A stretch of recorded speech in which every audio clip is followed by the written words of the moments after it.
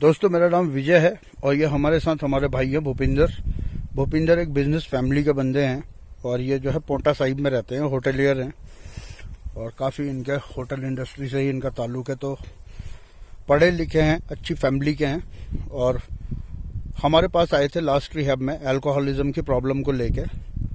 एक ही बार रहे, करीबन तीन, साढ़े तीन साल सोबर रहे, उसके बाद पूरा रिकवरी प्रोग्राम प्रैक्टिस करा। हर रिकवरी बर्थडे सेलिब्रेट करा दूसरों की मदद करी। और लॉकडाउन के टाइम पे कुछ ऐसे फियर्स इनके अंदर आ गए कि इन्होंने दोबारा से शराब पी ली साढ़े तीन साल की रिकवरी के बाद। तो अब इतने समय बाद इनकी अपनी एनालिटिकल है कि ये फिर से प्रोग्राम के टच में रहने के लिए अब बार बार रिहैब आते रहते हैं। तो इनसे बात करते हैं। भूपिंदर अपने बारे में बताइए फ्रेंड्स मेरा नाम भूपिंदर मैं पोंटा साहिब से बिलोंग करता हूँ। असल में सिख फैमिली से हूँ मैं। जहाँ पे शराब वगैरह आम है बिल्कुल तो वो दौर चलता ही रहता है हमारे घर में आम थी बात। तो, तो ऐसे ही कॉलेज टाइम के दौरान मैंने भी शुरू की थी। पहले शाम को होती थी कभी कभार। धीरे धीरे मैं इसके उसमें फंस चुका था जाल में। मुझे भी एहसास हुआ इस चीज़ का कि मैं फंस चुका हूँ क्योंकि मैं दिन रात शुरू हो गया था। इसके कारण मेरी कई बार जॉब्स भी छूट गई मेरी। मैंने जॉब्स भी की थी वो भी छोड़नी पड़ी। अब मैं ऐसा लाचार हो गया था नशे के दौरान। मैं ना घर वालों को देख पा रहा था। मुझे अपनी तक की भी हालत नहीं थी। चोरी चिकारी करना, ये आम हो गया था। पैसे का जुगाड़ करना कहीं से और शराब के लिए सुबह सुबह उठ के शराब करना पड़ता। मुझे बड़ा बेबस था। रात को कभी भी उठता था यार मैं रोता था कि मेरी किसी तरह शराब छूट जाए। दवाइयों का भी इस्तेमाल किया, ऑन जो एड्स आती थी टीवी पे, वो भी खाई, कुछ असर नहीं पड़ता था। एट लास्ट मुझे किसी डॉक्टर ने ही बताया, क्योंकि मेरी हालत ऐसी होती जब मैं शराब छोड़ता था तो मुझे हॉस्पिटलाइज होना पड़ता था। तो उन्होंने सलाह दी थी कि इसी रिहैब में आप इलाज कराइए अपना तो वहीं पे आपको इस चीज़ से छुटकारा मिल पाएगा। तो ऐसे ही मैंने एक दिन मार्केट में घूम रहा था तो एक रिहैब का पोस्टर दिखा। मैंने कॉल करवाई घर वालों से तो बात की रिहैब में। तो मैं रिहैब में आया था 2017 में जून आठ को फ़र्स्ट टाइम तो जब मैं आया था, मुझे ये था कि तीन चार महीने बॉडी को रेस्ट मिलेगा, अपना रूटीन से सब कुछ।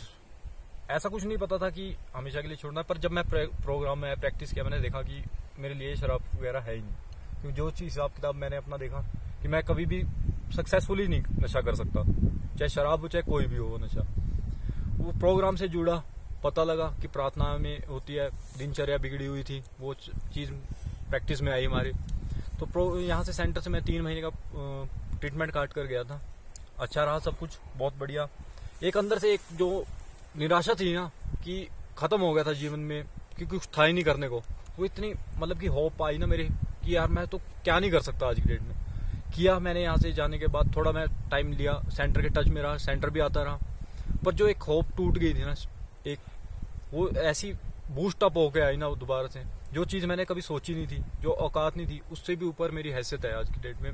जो कुछ मुझे मिला इस प्रोग्राम में आने के बाद। भूपेंद्र, आप जो है, जो लोग भी मतलब रिहैब के बारे में, उनके ऐसी धारणाएँ होती मिसपरसेप्शन कंसेप्शन होते हैं लोगों के, कि मारते पीटते हैं या खाना नहीं मिलता है। थोड़ा सा उसके बारे में कुछ कहना चाहेंगे?